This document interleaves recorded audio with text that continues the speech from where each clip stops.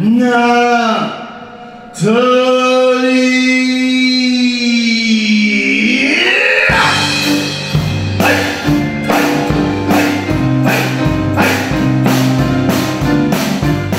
maladies cardiaques, c'est fréquent chez les enfants, c'est 1% des naissances. Et ces maladies cardiaques, dans la majorité des cas, quand elles sont traitées, elles guérissent. Et quand elles ne sont pas traitées, les enfants meurent. Et quand le traitement ne peut pas être fait pour cause d'argent, l'équation devient plus dramatique. Argent égale guérison et vie, pas d'argent égale mort. Et ça, on n'avait pas pu l'accepter facilement. C'est alors qu'est née l'idée de dire pourquoi ne pas exploiter toutes ces, passions qu'on a chez les médecins de, de, musique et mettre la musique au service des enfants malades cardiaques. C'est ainsi qu'est né Heartbeat.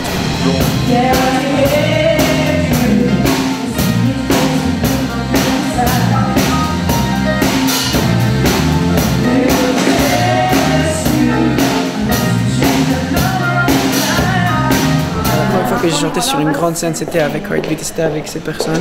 Et c'est devenu un peu ma famille. Et j'ai été, repéré ici par Énergie et par MTV euh, pendant le concert de Heartbeat. Et je n'oublie pas cela. Donc c'est pour ça que je reviens chaque année et j'essaie d'être là tant que je peux. Et j'essaie de chanter autant de chansons que je peux pour que les, les gens viennent regarder parce que c'est très important. Euh, ils chantent pour une très bonne cause, pour des enfants qui sont malades. Et j'aime cette cause, donc je suis là pour aider autant que je peux.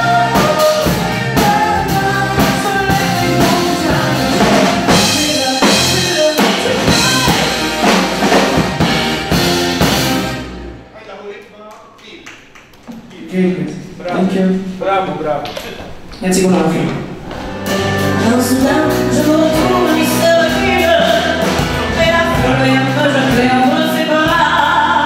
fait depuis euh, 2008 que je suis avec eux.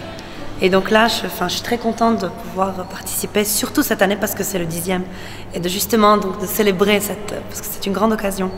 Et je suis doublement contente parce que non seulement je suis chanteuse, mais metteur en scène aussi cette année. Donc voilà, je m'y mets à fond. Et le fait de pouvoir sauver les enfants à travers la musique, je trouve que c'est magnifique. Donc euh, c'est ce qui me motive le plus. Quoi. Quand je suis sur scène, que je chante, je pense qu'à ça.